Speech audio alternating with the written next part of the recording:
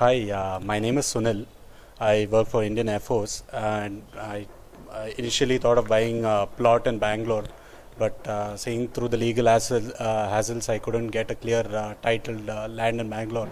So eventually I went for uh, buying a plot and uh, DS Max project at Abigere, DS Max Splendor Nest in particular, suited my budget and all my requirements. Uh, the project was, uh, I had an overview of the project from Mr. Ravindra Gowda, and later uh, I was briefed on the project by Mr. Johnson from DS Max. It was a nice experience. I went for uh, loan. I uh, bought my flat, uh, in fact, through loan, and initially I went for loan through my in-house loan, and it couldn't be materialized. So I was given an extended uh, time of around three months by uh, DS Max, which was really kind on their part, and uh, it was nice that I could uh, get my uh, first flat and have a nice experience with uh, DS Max. I wish them all the success in the future. I came to know, see, DS Max is quite an old name in Bangalore. Since I've, I've been born and brought up in Bangalore, I know about DS Max.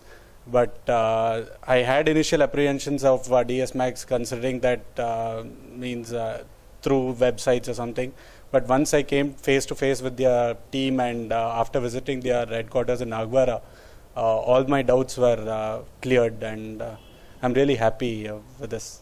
Surely, I've recommended most of my colleagues who are working with me and people who have sought my suggestion on any flats in Bangalore. I've always suggested DS Max, and uh, quite a few of my uh, colleagues have got in touch with uh, DS Max, and they are in the process of uh, buying their flats also. It's nice to hear that you're completing your 10th anniversary, and it's really good. I hope you reach even more greater heights.